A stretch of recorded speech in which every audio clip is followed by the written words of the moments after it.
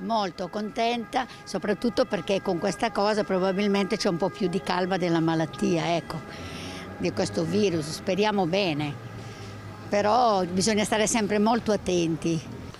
Ma cerchiamo di approfittare, dobbiamo approfittarne, anche perché sono stati chiusi per diverse settimane, quindi se vogliamo far girare l'economia locale dobbiamo approfittarne, anche con poco ma dobbiamo approfittarne.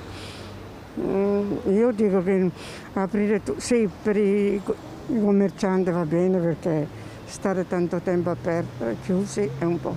Però la- siamo noi cittadini che non sappiamo gestirci, ecco. Sono molto scettica e cauta perché non ci sono controlli su quante persone stanno nel negozio. Quindi è a discrezione molto del negoziante decidere quanti entrano e come entrano. Poi non si capisce perché i ristoranti non devono aprire.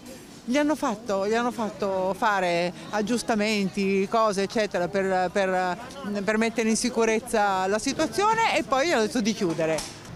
Io avrei aspettato, sinceramente, in tutta sincerità. Abitando in questa zona avrei atteso ancora una decina di giorni prima di dire andiamo tutti a comprare, perché ieri era già un bel, un bel assembramento.